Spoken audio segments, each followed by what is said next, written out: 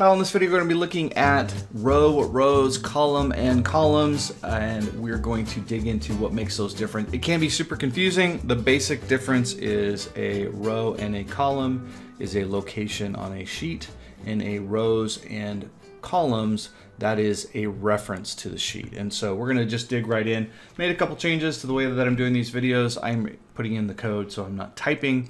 Hopefully you like that. If you do, give me a like or give me a comment. And if you haven't already, please subscribe to my YouTube channel. Now we're gonna go through this code.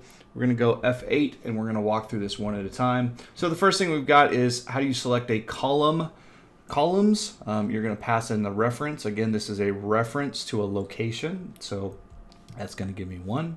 Now if I put in two, it would, it would pull in B. You can also pass in a reference of the column headers. Same thing for rows, pretty simple.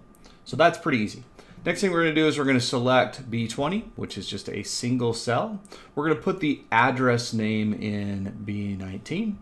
And then I'm going to say what is the active, the what is the row of that active cell. Now that's going to give me 20.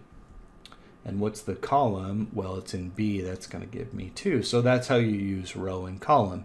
It's going to give you a reference to where it lives within the workbook or range. The next thing we're going to do is we're going to clear some contents. So we're going to start over. Now I'm going to select a larger range, which is B20 to B30. Now I'm going to throw in the address so that I know that that's my selected range.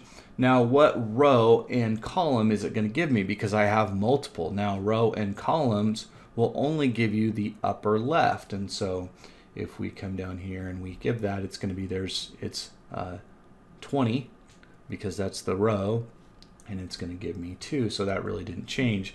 Now, what, what would happen if I change my selection? So if I come over here and I have a different selection, what is the row going to be here? Well, it's going to be 20 and it's going to be an F, which is column 6. So that's just quick reference on that as far as row and column. It's only going to give you the upper left in a range if you're using a range. So let's head back to our code here, go back to our selection, and we're going to come in here. And actually, I didn't even need to do that. It just it makes it easier to see. So I cleared that out. Um, this is going to give me the row count of my range. Now I'm giving it a range and I'm counting the number of rows. So that's going to count one, two, three, and that gives us 11 rows.